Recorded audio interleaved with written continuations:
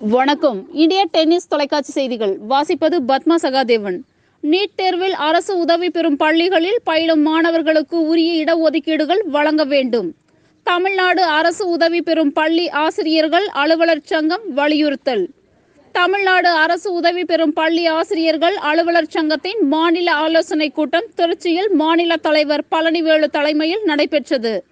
கூட்டத்தில் பனிரெண்டு அம்ச கோரிக்கைகளை வலியுறுத்தி தீர்மானம் நிறைவேற்றப்பட்டது. அதனைத் தொடர்ந்து செய்தியாளர்களுக்கு பேட்டியளித்த மாநில தலைவர் பழனிவேலு அரசு உதவி பெறும் பள்ளிகள் புறக்கணிக்கப்படுகின்றன. அரசு பள்ளியில் பயிலும் மாணவர்களுக்கு வழங்கும் அனைத்து உதவிகளையும் அரசு உதவி பெறும் பள்ளியில் பயிலும் மாணவர்களுக்கும் வழங்க வேண்டும்.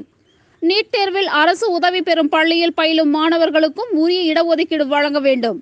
ஆசிரியர் தகுதி தேர்வில் தேர்ச்சி பெறாமல் நியமனம் பெற்று பணியாற்றி வரும் ஆசிரியர்களுக்கு நிறுத்தி வைக்கப்பட்டுள்ள அனைத்து பலன் பலன்களையும் குறைவின்றி வழங்க வேண்டும். அரசு உதவி பெறும் பள்ளிகளில் பயிலும் மாணவர்களுக்கும் மடிக்கணினி வழங்க வேண்டும் என கூறினார். நன்றி.